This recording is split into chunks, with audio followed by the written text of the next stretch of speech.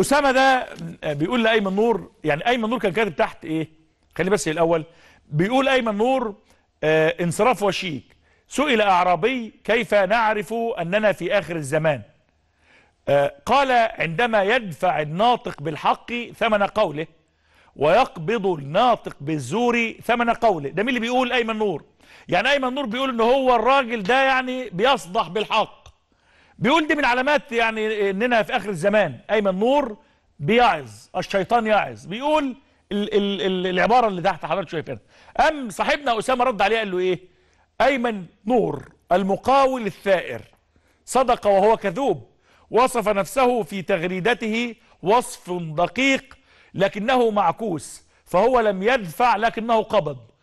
قصر بأسانسير بمليون و ألف دولار أرض ب 750 ألف دولار اشترى قناة الشرق ونصب على موظفيها أسطول سيارات أسطول خدم مجموعة شركات عقارات رغم أنه خرج من مصر في, خم... في 2015 خالي الوفاض كما زعم وقال.